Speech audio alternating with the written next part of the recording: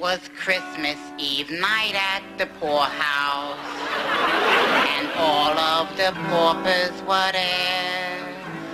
I stepped in because it was snowing, and snow always screws up my hair. By the pot-bellied stove sat a pot-bellied man.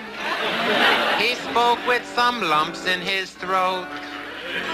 His story was sad, and his diction was bad. And here is the song that he wrote. I once was the jolliest fat man with roses in all of my cheeks. I'd load up my sled every Christmas and go on a drunk for two weeks.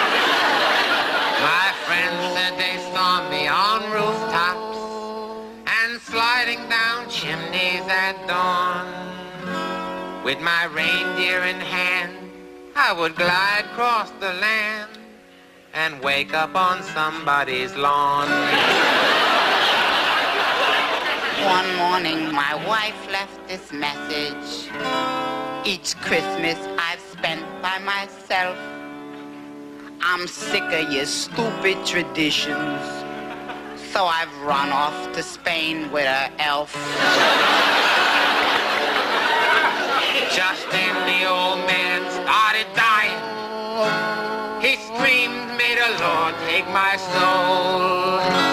We went through his wallet to see who he was. His address read simply, North Pole. So the next time you go by